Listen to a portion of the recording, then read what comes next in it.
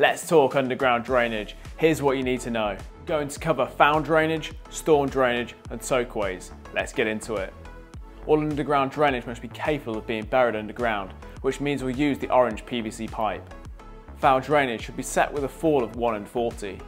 Pipe should be bedded on and surrounded with pea gravel. This helps protect the pipe and distributes loads around it. Ensure all runs are free flowing and there are no abrupt T-sections that could cause blockages. It's best practice to install an inspection chamber at every change of direction. This way any blockages can be cleared easily.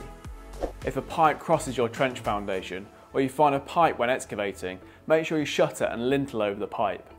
Much like foul drainage, storm drainage should be installed in the same way, but with a few slight changes.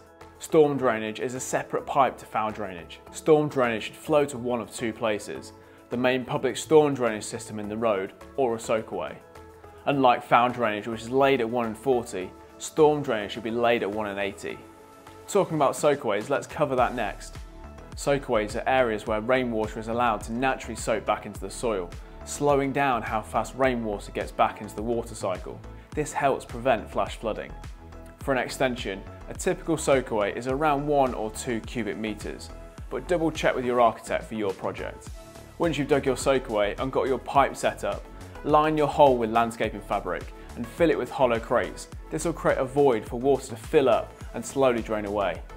Soakaways must be placed a minimum of 5 metres away from any building. This is to prevent any structural damage. Now you understand about underground drainage, check out this video next. If you want ongoing support for your build project, check out the ProjectWise website at beprojectwise.co.uk. We can tailor a bespoke package specifically to your needs so you can get the best support.